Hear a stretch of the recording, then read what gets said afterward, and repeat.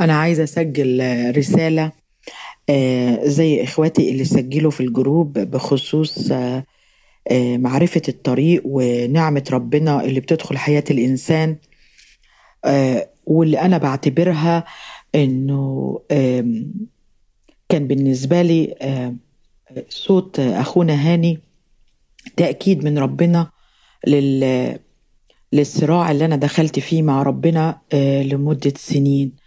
أنا اتربيت تربية مسيحية يعني حقيقية. أمي كانت ست مؤمنة جدا و... ودايما بتصلي وتقرأ الإنجيل وكانت دايما تجمعنا أنا وإخواتي ونصلي و... فمن بدري قوي عرفت أو أو دخلت قلبي نعمة ربنا وكنت بحب ربنا قوي ودايما بحرص إن أنا يكون ليا خلوة وصلاة و...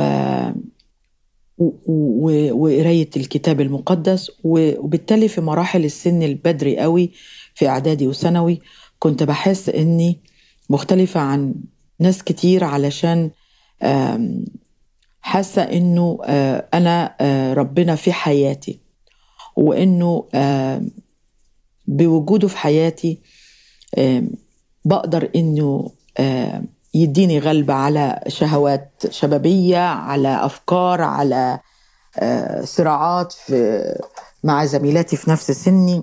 حاجات كتير كنت بعت فكنت شايفة نفسي إن أنا كويسة يعني وإنه ماشية مع ربنا حلوة قوي وعندي اشتياقات نحو ناحية ربنا. فكنت لما بروح كنايس إنجيلية بالذات أو خلاص النفوس وكنت أسمع عظات فكنت أحس إنه آه نفس اللي هما بيقولوه ده أنا اختبرته إن الله آه، لمس قلبي أنا سلمت حياتي للمسيح بس خلاص. فأنا أنا كده كويس قوي أنا في الفلك أنا أنا يعني منتصرة بمعنى أصح بس مع تقدم الحياة ومع يعني أقدر أقول إن أنا كنت في مرحلة آه، نقطة واحدة. يعني بديت وهي دي البداية وهي دي النهاية لسنين طويلة وبدأت حتى الحياة الروحية تبقى زي ما يكون تعود تعود إن أصلي اتعودت أقرأ الإنجيل آه إلى أن واتجوزت وخلفت والحياة ماشية كده وفي كل فكري إنه آه إن أنا هربي بنتي يعني بنفس الطريقة كده وكنت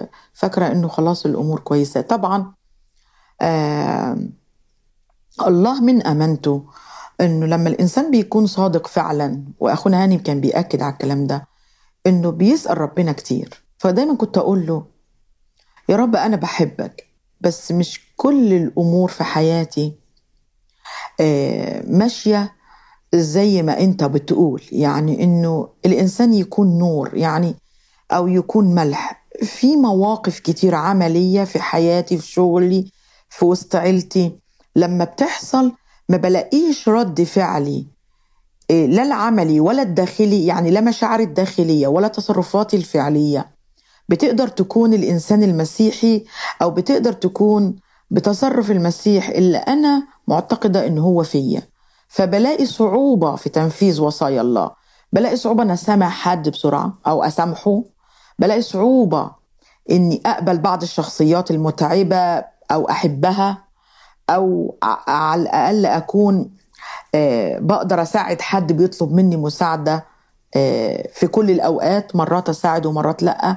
فلقيت إنه في صعوبة في ممارسة الحياة ال- ال- الروحية عمليا إنه طب أنا يا رب بنتك أنا يا رب عايشة معاك بقالي سنين فليه أنا ما بتغيرش؟ أو ليه أنا ما عنديش بعد كل السنين دي اللي أنا حاسة إن أنا عشتها معاك ليه ما عنديش ال- الاستعداد لإني أترك شيء لحد؟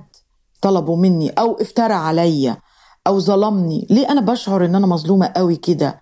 مع إن المفروض إن أنا أرضى أن أتظلم. يعني أنا عقليا راضية أن أتظلم بس آه عمليا أنا شعرة بالقهر وشعرة إني مضغوطة وشعرة إني رافضة الظلم ده عمليا.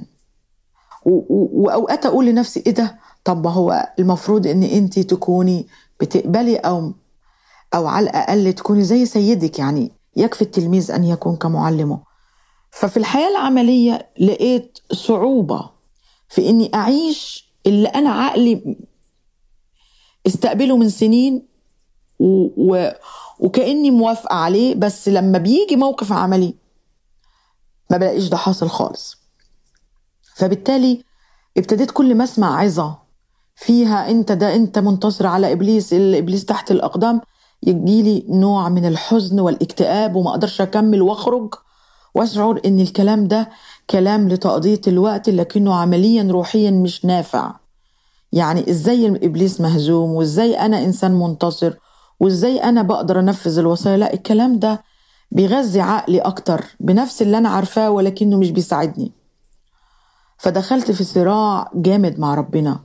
وفي مواقف كتير كنت بتوقع من نفسي أشياء ألاقي نفسي بطلة في الإيمان فيها وألاقي نفسي أوحش وأضعف من الناس اللي ما عرفوش ربنا أصلا. وبلاقي ردود أفعالي آه، آه، ما فيهاش آه، ما فيهاش الخبرة الروحية اللي المفروض ليا مع ربنا. فبقيت أبكي وأقول له يا رب أنا أصلا ما عرفتكش أنا أصلا ما قبلتكش شكيت في معرفتي ربنا أصلا. فبقيت أبكي وأقول له يا رب ليه سبتيني السنين دي؟ أبكي ليه سبتيني السنين أعرفك وأنا كأني بضحك على روحي؟ يعني شعرت بنوع من ال إن أنا بخدع نفسي. وليه سبتيني أخدع روحي؟ طب طب لما أنا وحشة كده طب لما أنا مش بعرف أعيش الكلام اللي أنت عايزني أعيشه. أعمل إيه؟ فحسيت بشعور برفضي لنفسي. شعور لإدانتي الروحي كتير جدا. رفضت روحي. رفضت الكلام العظات. رفضت الكنايس. رفضت آه أي حاجة. رفضت العظات. رفضت كل حاجة لدرجة إن أنا ما بقتش غير أصلي أقول له أنا مش عارفة أجيلك إزاي. أنا مش عارفة ألتقي معاك إزاي في نقطة. طب هتفضل سايبني. مش عارفة أعمل اللي أنت عايزه. طب هو المفروض أعمل إيه؟ فكنت تقريبا عايشة على فكرة إنه أنا قابلة وصايا ربنا بعقلي وفي بصيص من النعمة ولكنه لم ينمو ولذلك أنا مش قادرة. بس عبال ما اكتشفت ده كنت آه، ضاع من عمري سنين وكنت حزينة وكنت حاسة إن العظات بتضيع الوقت ما بتعملش حاجة بتغذي العقل بس. عمليا أنا كده في نظر العظات دي المفروض أكون منتصرة. طب ليه أنا مش منتصرة؟ وأول ما بديت أنا عايشه في أمريكا كان في صديق في الكنيسة اللي أنا فيها كان بيسأل عني وكان بيشجعني روحيا وكان حاسس إن أنا عندي يعني على كلامه إن أنا عندي نعمة ربنا. فليه يعني ما بت ليه سايبة نفسك؟ ليه ما بتجيش الكنيسة؟ ليه كذا؟ فبقيت أقول له إن أنا حاسة بكذا وكذا وصارحته فقال لي آه، حالك من حال ناس كتير. بس أنا أنصحك تسمعي آه، آه، فيديوهات الأخ آه، هاني دوت. فأنا طبعا كنوع من اللي الفضول مش أكتر وكنت متوقعة إنه مش هلاقي كلام جديد. لكن أول ما سمعت الفيديوهات زي ما أكون بتقول له أيوه هو ده اللي أنا حاسة بيه. الكلام اللي كنت بسمعه إن أنت ربنا دخل حياتك أنت مؤمن أنت تقدر تعمل أنت منتصر. يعني كلها في خطوة واحدة. فأنا لما ما لقيتش في نفسي الكلام ده بيتحقق قلت أنا ما بعرفش ربنا. أو قلت أنا آه، أو ربنا سايبني في العالم وهو ده مصيري وخلاص هو ربنا له ناس ناس والقداسة ليها آه، يعني آه، القداسة ديت نعمة بيديها للناس ومش عايز يديها للناس وهو حر فأنا ليه أجبره؟ بس ما كنتش عارفة إن أنا كلامي ده وكلامي ده ليه كأنه بمثابة عتاب ليه. لقيت مع الوقت أو تزامنا مع سماع العظات ديت زي ما يكون في ينابيع من الحب اتفجرت لربنا وبقيت كأنه بيغير عقلي بيغير مخي آه بيقول لي اقبلي إنك أنت دلوقتي مش قادرة أنت ليه مش قابلة ده؟ اقبلي إنك مش قادرة دلوقتي وامشي معايا. ويوم مع يوم هتشوفيني هتجسد في حياتك. هتقدري تعملي لإني أنا اللي هعمل فيك. وبقيت الآيات اللي كنت بسمعها وكانت حافظاها كنت حافظاها لكن كنت ساعات أقول دي مجازية أو أو تعبيرات يعني جميلة إنه لا أحيا لا أنا بل المسيح يحيا فيا. كنت فاكرة إنه زمان أنا حصل الكلام ده ففين المسيح مش حي فيا ولا حاجة. فطبعا آه قلت إيه لا ده ده ده, ده يعني إيه ده ده تمني ربنا أو أمنية ربنا يعني لكن هو عارف إن طبيعتنا فاسدة فمش بيطالبنا بيها يعني. فكانت في تضارب في في حاجات كتير جوايا إلى إني اكتشفت إن كأن ربنا بيرتب مخي. أنت عارفة حاجات كتير بس مش مترتبة. وفي نفس الوقت أنت اختبرتي نعمة ربنا بس وقفتي عند الحد معين. فالحقيقة أنا عظات هاني ما كانتش بالنسبة لي مفاجأة لكن كانت بالنسبة لي ضله بدور عليها وحاسة إن ده رأيي وده اللي عاوزه أقوله بس مش قادرة أقوله. خايفة أقوله لإلا أطلع إن أنا غلطانة. بس لقيت إن أنا اللي بدور عليه واللي العقل والروح القدس كان بيقوله لي اصبري امشي كملي. أنت لسه ما ابتديتيش ابتدي. كأنه كان كان صوت وأنا بحاول أخمده لكن أول ما لقيت حد بيقول أو بيتطابق صوته مع صوت الروح القدس جوايا فرحت جدا جدا جدا. وكانت فرحتي بإني أسمع صوت ربنا على لسان أخويا هاني كأنه بيأكد لي الصوت اللي كان جوايا من سنين وبيصارع فيا ويقول لي أنت ليه مستغربة حالك إنك ضعيفة؟ ليه مستغربة حالك إنك مش قادرة دلوقتي؟ اقبلي وبعدين هتقدري. لا كنت برفض لأنه متوقعه ان هقدر متوقعه إنه لا أنا سلمت حياتي لربنا وأنا عايشة معاك ليه ما أقدرش؟ ولما فعلا فشلت شكيت في ربنا نفسه مش في نفسي وشكيت في إن الكلام مجرد كلام وإن ربنا له ناس ناس وحصلت يعني دروب ولكن أشكر ربنا إنه ما هنش عليه سيبني فقومني من تاني وأشكر ربنا إن أنا عندي حاجات كتير. فيها ضعفات. بس دايما أقول لربنا أنت أمين وهتوصلني وهتقومني لأن أنا كل اللي أنا أعرفه إني بحبك وعايزاك وما عنديش حاجة في الدنيا مغرية بالنسبة لي. كنت زمان بحب حاجات كتير جدا. كنت زمان بحب الفلوس جدا. كنت زمان بحب المنصب جدا. لكن لقيت إنه تدريجيا ربنا بيغير الفكرة حتى من غير ما أبذل مجهود إني أغير فكري. أنا مش مش بنام واصحى أغير فكري لأ. لقيت إنه تدريجيا ربنا بحس إني كأني أنا شخص جديد وتفكيري بيتغير ردود أفعالي بتتغير ردودي على الناس بتتغير حتى الناس بتستغربني كتير. و... و... وأنا بس بحب أيد أقول إنه هاني ما قالش كلام جديد وهاني ما قالش كلام آه آه ما تقالش هاني آه يعتبر قال صوت الروح القدس اللي انطفى سنين وأخيرا حد سمح يتكلم الروح القدس بجرأة وبصوت عالي. لأن هاني مش لوحده قال الكلام ده. أنا كان جوايا صراع سنين مع ربنا. هي القصة يا رب ابتدت وانتهت وأنا هي كده دي نهايتي. ولا أنت عندك خطة أخرى؟ أو عندك آه يعني حاجات تانية؟ أتاري إن أنا كانت ده صراع مع ربنا؟ وكنت حاسة بصراع وهو جاوبني وما سابنيش. بس لما بقول لكم سمعت آه رسائل هاني وتسجيلاته كانت كل مرة بتلمس جرح كأنه شوفي جوايا. أيوة هو ده ربنا اللي بدور عليه. هو ده ربنا اللي عاوز يمشيني معاه وقابل ضعفي دلوقتي وفيما بعد هيديني القوة وبيديني القوة. وفعلا أوقات كتيرة مرت من حياتي بعد ما يعني أنا سمعت التسجيلات تقريبا من ثلاث سنين بس بس كانوا أجمل أوقات. و و... و... وكأني أنا شايفة حياتي مع ربنا إنها إنها هتكون في الصورة اللي هو عايزني مش لأن أنا ابتديت لأني لأن هو وصل لي صوته وكان أمين إنه يوصله لي فهو أمين إنه يخليني أكمل. أنا معرفش ليه لما سمعتكم بتتكلموا مع إني مش بشارك كتير و... ونادرا ما بتكلم لكن حبيت أوصل آه صوتي آه مش دفاعا عن هاني ولا تأييدا للناس لكن بحس إنه حقيقي آه اللي عنده نعمة سماع صوت الله جواه هيميز أي صوت غريب عن صوت الروح القدس لأن أنا بعتبر إنه إحنا جوانا الروح القدس وزي فكرة الراديو just إن بظبط ال tune بتاع الروح القدس اللي جوايا. على أي صوت بني آدم بره بعرف إذا كان هو من الله ولا لأ لأن الله هو الأمين. إذا كنت أنا بقول يا رب أنا عايزك هو الأمين.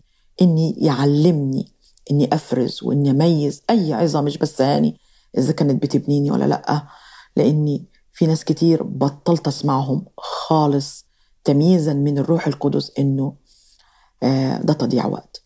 آه آه بس الحقيقة أنا على الرغم إني استفدت كتير من أخويا هاني لكني بقول له وبصلي له إنه ربنا يفجر طاقات المعرفة الروحية والنور اللي اداهوله ويكمل ويوصل لنا أكتر وأكتر لأنه آه هو فعلا عنده آه آه يعني نور آه محتاجينه ناس كتير جدا جدا جدا. واللي مش عايز يستنير ويعرف هو حر واللي شايف إن الرسالة دي من ربنا آه هو هيستفيد. وبعدين في حاجة أخيرة عايزة أقولها. بغض النظر عن هاني صح أو غلط هل الحياة الأبدية والكلام ده بيقوله هاني برضو؟ أو المسيح ما يستاهلش مننا إننا نترك كل شيء؟ العروس اللي بتكون آه بتحب العريس لو ودها أي حتة بتوافق وتسيب أهلها وتسيب ماضيها وتسيب بلدها مهما كان حبا في هذا العريس. فبنفس نظرية العالم اللي العالم بيعترف بيها إذا أنا شايفة في عريسي ده آه إنه يستاهل وإني بحبه بجد آه عاوزة أثبت له وعايزة أعلن له إنه هو سبق قلبي وإنه هو استحوذ على تفكيري. فأنا مش مستعدة أكلم أي حد غيره ولا أشبع من أي حد مهما كان مصدره. و... و... وده أقل حاجة نقدمها لربنا. ف...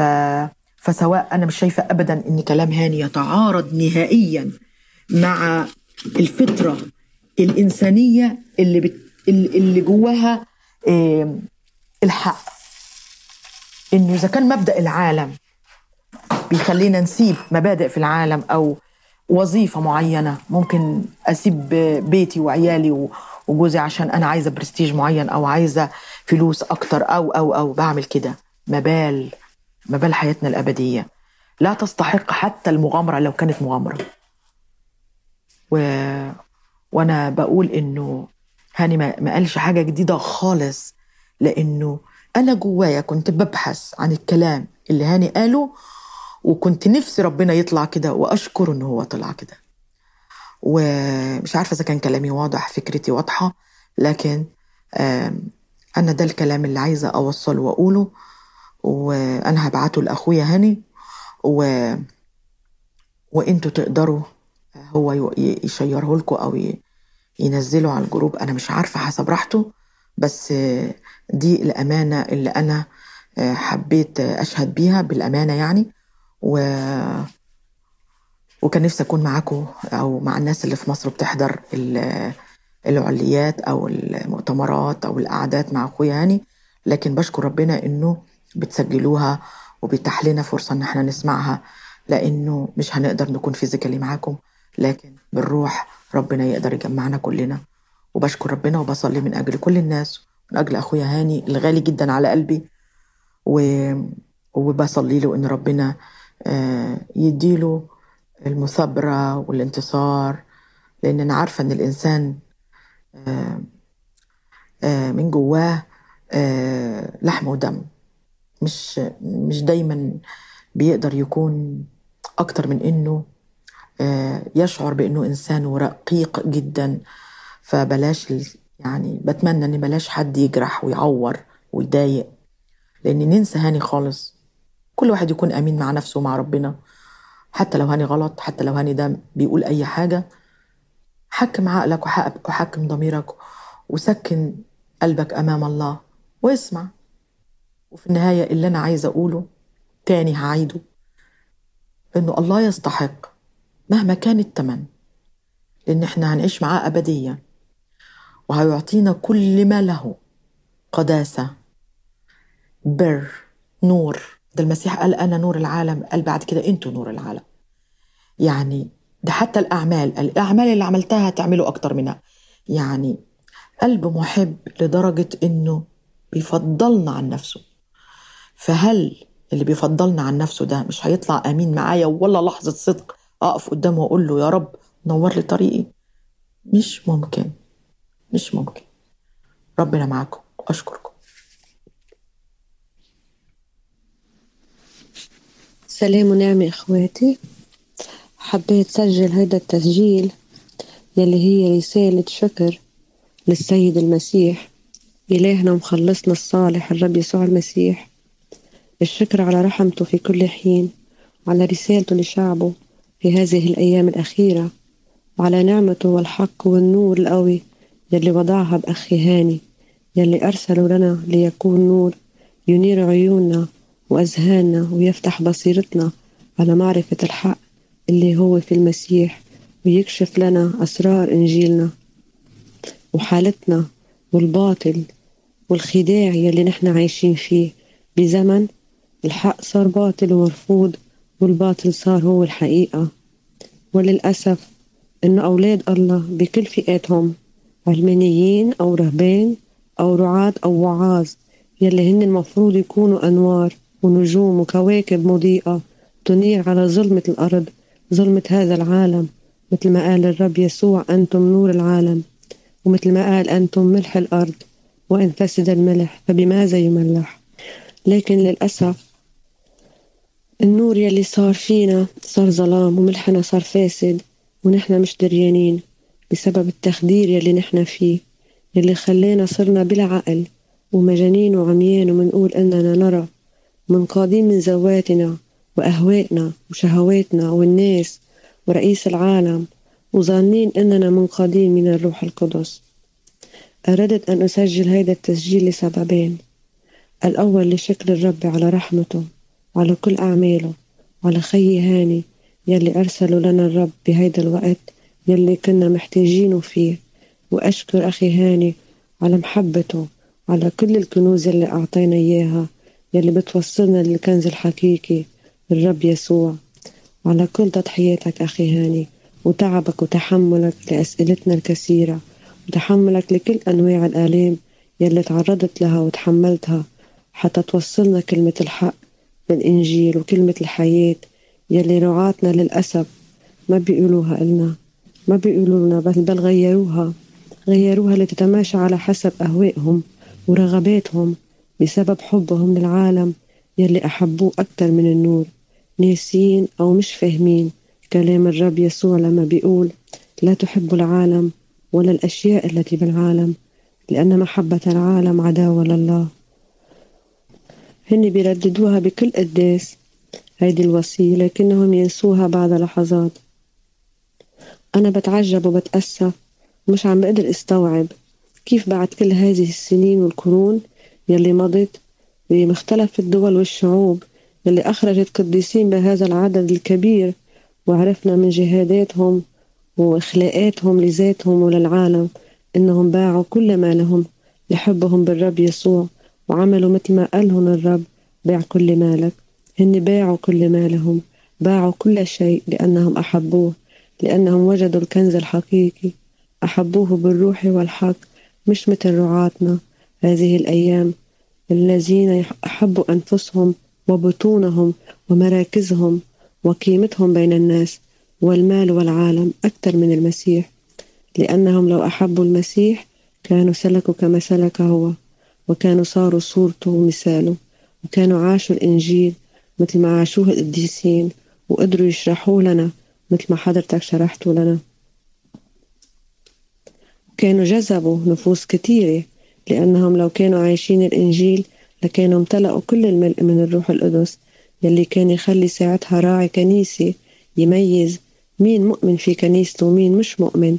لكن للأسف لأنهم مملو مش مملوئين بسبب إنهم مش ميتين. ففي بكنائسنا في شباب وفي صبايا ملحدين والأبونا بيناولهم جسد الرب ودمه وهو مش دريان.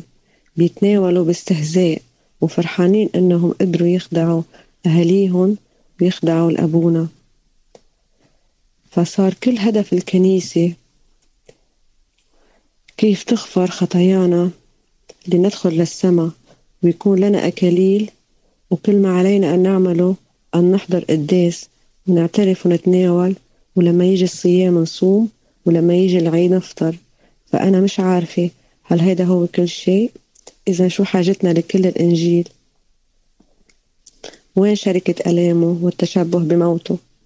وين, وين كلام الرب لما قال اجتهدوا أن تدخلوا من الباب الضيق؟ فلما سألوا إنسان للرب في لوقا يا سيد أقليلون الذين يخلصون؟ ما قال له الرب آمن فقط. ولا قال له اعتمد وأنت تخلص. أو اعترف وتناول واحضر قداسات وصوم وقت الصيام فتخلص. بل قال له أجتهدوا أن تدخلوا من الباب الضيق لأن الحق أقول لكم كثيرون أرادوا ولم يقدروا. العالم صار عم ينتهي. أعاصير مش طبيعية عم بتصير بكل العالم. فيضانات وبراكين وزلازل وحرائق وأمراض عم بتزيد وحيوانات عم بتموت بعدد كبير من غير سبب. كل هاي المصايب للي عم بتصير والناس مش دريانة ليش عم بتصير؟ في البعض بيقولوا هيدي من العلامات يلي حكي عنها الرب في الأزمنة الأخيرة. إيه هيدا صحيح لكن لم أسمع من أحد ولم يكن لنا أحد. ليش الرب سمح بكل هذه الكوارث واللي راح تزيد أكتر وأكتر؟ وهيدي ما هي إلا البداية. ليش الناس ما بدها تفهم إننا لم نعد نعبد الله بالروح والحق؟ وكل حياتنا صارت جسدية وما حدا عم يسلك بالروح مثل ما الرب جاء وعلمنا كيف نسلك وننمو بالروح. نحن نمينا بالجسد نمينا بالعالم. بذكرني هيدا الشي بآيتين بسفر التكوين. لما الرب قال لا يدين روحي بالإنسان إلى الأبد لزيغانه هو بشر وتكون أيامه مئة وعشرين سنة. في أي تاني كمان بيقول فحزن الرب إنه عمل الإنسان في الأرض وتأسف في قلبه. فقال الرب أمحو عن وجه الأرض الإنسان الذي خلقته الإنسان مع بهائم ودبابات وطيور السماء لأني حزنت إني عملتهم. في آية ثالثة بتقول كمان وفسدت الأرض أمام الله وامتلأت الأرض ظلما. ورأى الله الأرض فإذا هي قد فسدت إذ كان كل بشر قد أفسد طريقه على الأرض. هيدي حالتنا هيك هيك إحنا صرنا صايرين. وفي إنجيل لوقا بيقول وكما كان في أيام نوح كذلك يكون أيضا في أيام ابن الإنسان. كانوا يأكلون ويشربون ويزوجون ويتزوجون. إلى اليوم الذي فيه دخل نوح الفلك وجاء الطوفان وأهلك الجميع. شو كانوا عم يعملوا؟ يأكلون ويشربون ويتزوجون ويزوجون. طيب وكذلك أيضا كما كان في أيام لوط كانوا يأكلون ويشربون ويشترون ويبيعون ويغرسون ويبنون. ولكن اليوم الذي فيه خرج لوط من صدوم أمطر نارا وكبريتا من السماء فأهلك الجميع. هكذا يكون في اليوم الذي فيه يظهر ابن الإنسان. هاو الأيتين بالذات لما بتطلع فيهم إنه شو كانوا يعملوا الناس؟ هل كانوا عم يقتلوا عم يذبحوا عم يسرقوا؟ شو كانوا عم يعملوا؟ ما كانوا عم يعملوا خطايا كانوا عم ياكلوا ويشربوا ويشتروا ويبيعوا ويزوجوا ويتزوجوا. ويغرسون ويبنون يعني نحن بالنسبة لنا هاي الأيام هيدي أشياء طبيعية لكن الرب لقى محيهم عن وجه الأرض. في رؤية حابة أذكرها كنت شفتها آه، بتشبه الرؤية يلي شافها أخي هاني يلي في ناس آه، ما صدقوه وفي ناس آخرين كمان شافوا المسيح عم يبكي آه، إن كان بالأديرة أو بالكنايس فاللي أنا شفته كان بكنيستي شفت المسيح بكنيستي بعد القداس بوقت يلي أبونا بيعطي لقمة البركة كانوا الكل واقفين بهيدا المكان والكل عم يتحدثوا وبيتكلموا بكتير أمور. كل واحد عم يحكي مع التاني بأمور مختلفة.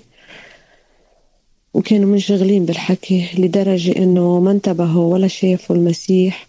كان واقف بيناتهم وكان عم يبكي. كان لابس ثوب أبيض لكنه متوسخ أو متوحل.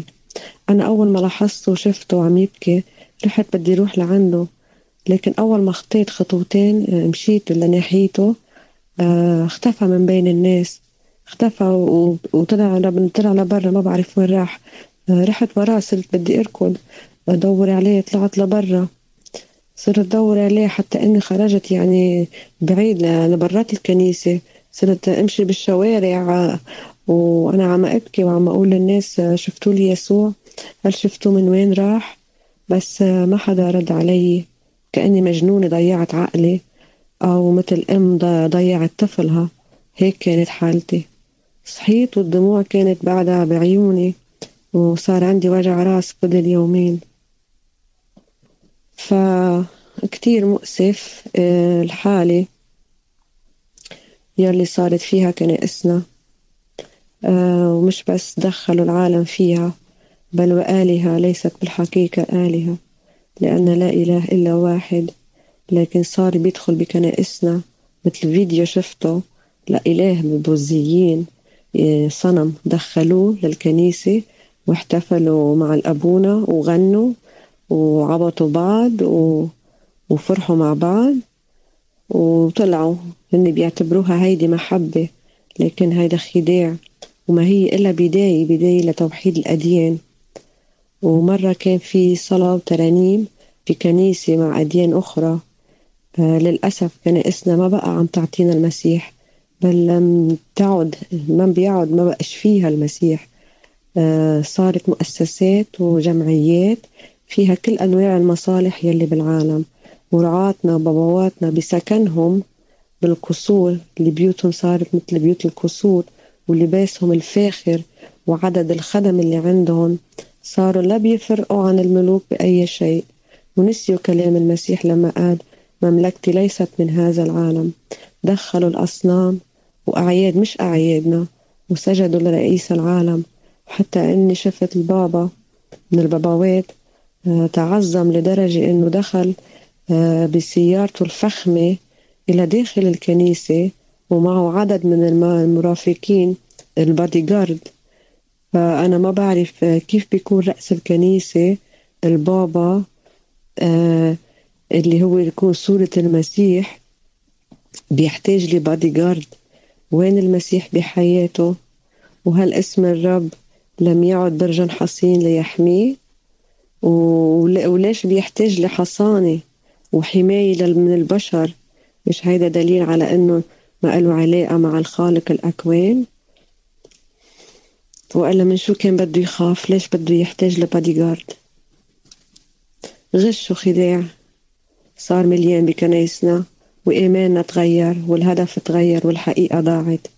فبعد كل هيدا الخراب كيف وأي راعي أو أي واعظ رح يشرح لنا يلي قاله بولس الرسول ليس لنا إقامة نجوع ونعطش ونموت كل النهار وهم عايشين بالعالم. كيف بدي يقولونا وهن عايشين بالعالم؟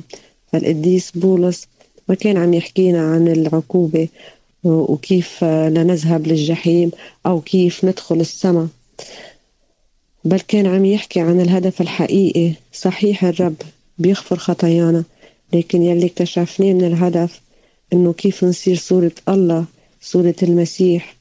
وهيدا هو الهدف من التجسد بفرجينا كيف بيتحول المسيح فينا بالموت بموت الجسد وأبطال وإفناء وإضاعة الذات. ومعنى كلام الرب يسوع في من أضاع نفسه هذا يجدها ليصير الله هو الرأس في حياتنا ونصير أعضاء فيه مثل ما شبهنا بالغصن في الكرمة نحيا ونتحرك ونوجد فيه. وغفران الخطايا لا يحتاج لكل هذه الإلزامات. الإلزامات هيدي اللي ألزمنا بها الرب. كونوا قديسين وكونوا كاملين. لما قال كل من ترك أبا أو أما أو حقولا أو بيوتا أو أولادا أو امرأة.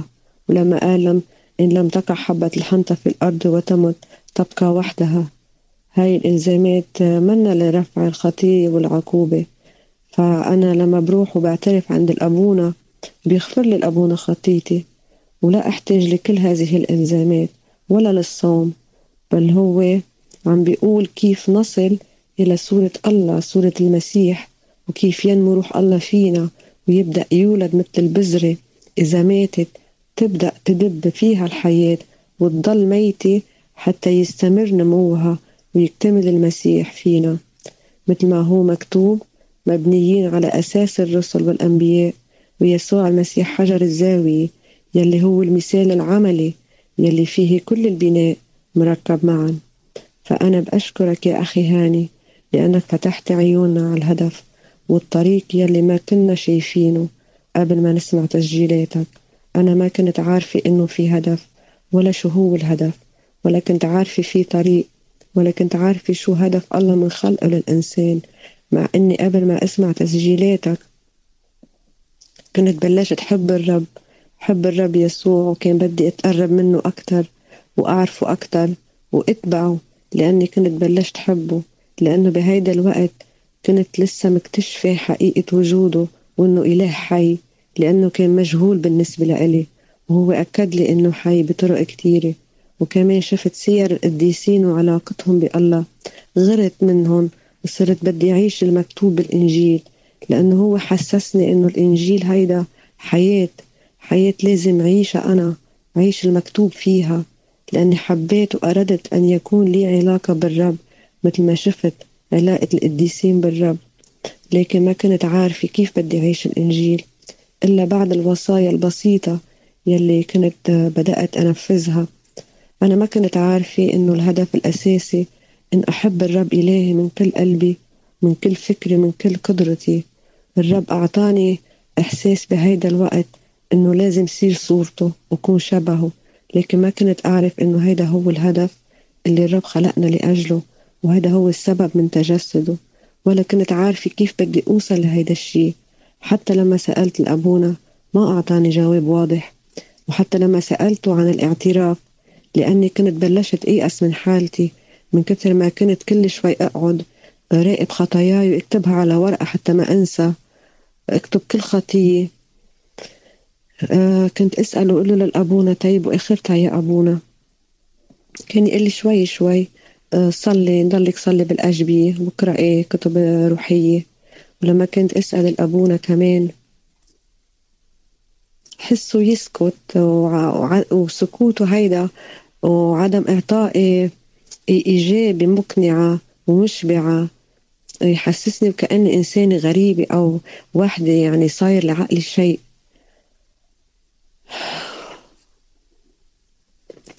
فكمان ما كنت عارفة شو هو الصيام ولا شو يعني إنه الرب هو خبز حياتي.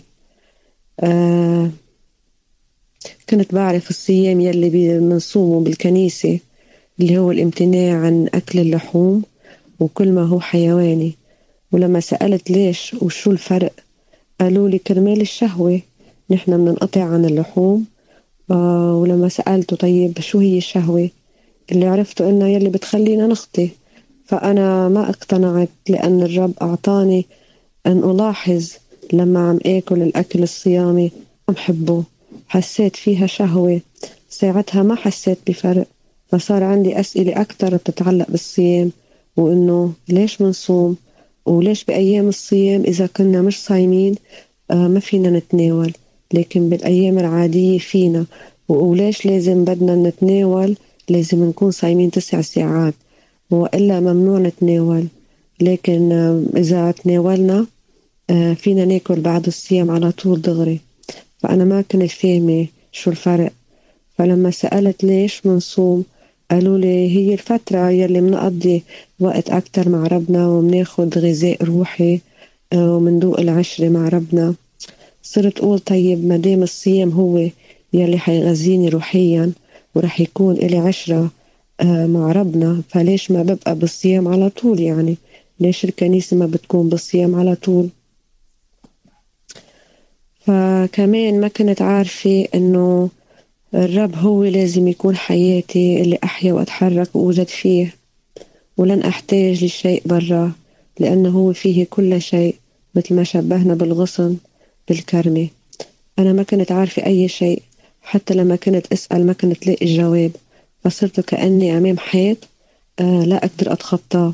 وهيدا هو كل شيء إلا بعض الأشياء البسيطة آه اللي لازم أعملها آه اللي هي اللي بتعطيني بتوديني للسما يعني وبصير لي أكاليل إذا عملتها اللي هي إني أعمل أعمال خير. مثلا أن أعطي الفقراء وأن أحب زوجي وأولادي. وهيك بكون عايشة لأجل الرب. فما كنت بعرف شي ولا كنت بعرف شو يعني الولادة من الماء وشو الفرق بينها وبين الولادة من الروح. ما كنت فاهمة شو الفرق بين الختان وشو هو شو هي المعمودية. يعني المعمودية كحياة والخروج للبرية وشو هي الولادة من الروح وإمتى بنولد من الروح. ما كنت فاهمة الفرق بين الأناجيل الأربعة وليش الأناجيل هن أربعة؟ وشو علاقتهم بالأنهر الأربعة؟ والكائنات الأربعة يلي بسفر الرؤيا؟ والأربعة أحصنة؟ والأربعة أسفار؟ أشعيا إرميا حسقيال؟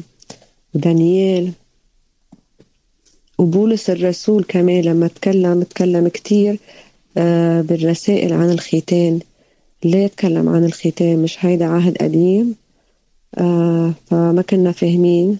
شي من شي ولا كنا فاهمين. ليه كل إنجيل بيحكي بطريقة مختلفة. وما كنا فاهمين النسب نسب المسيح في أول إنجيل وليه ستة أيام الخليقة وشو يعني المسيح كان في اليوم الثالث. ما كنا فاهمين أننا لازم نعبر ثلاث مراحل لنقوم مع المسيح. ما كنا فاهمين شو يعني ختان ختان القلب والفكر وليه الله طلب نذبح في هذا المكان. لم يخبرنا أحد شو وليش الختان. بولس الرسول أكد كل شوي لازم نختتن لازم نختتن ختان غير مصنوع بأيدي بشر. شو كان قصده؟ آه الديس بولس.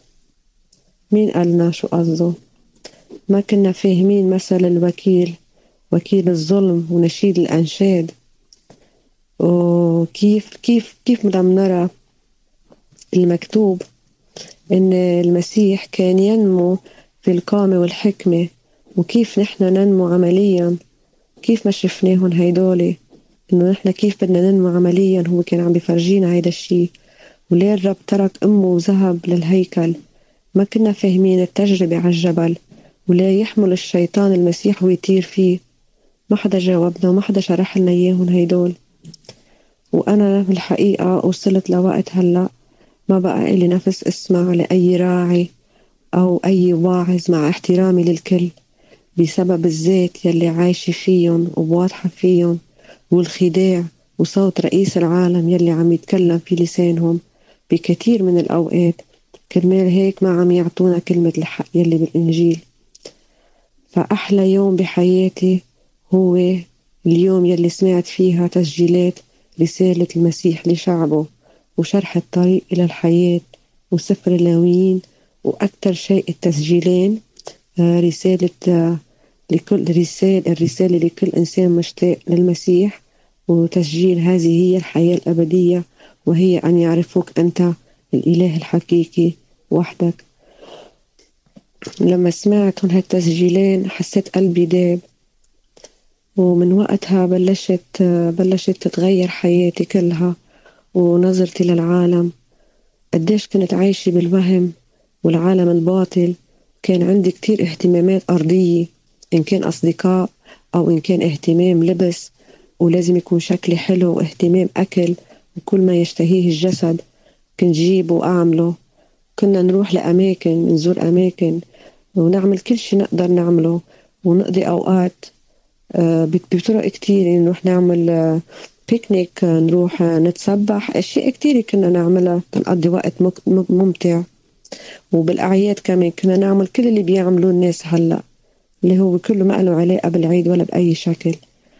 فمن بعد ما فهمت بنعمة ربنا إني كنت عايشة بالباطل وأنا هيك مستوطنة بالجسد وغريبة عن الله فصارت تتغير حياتي.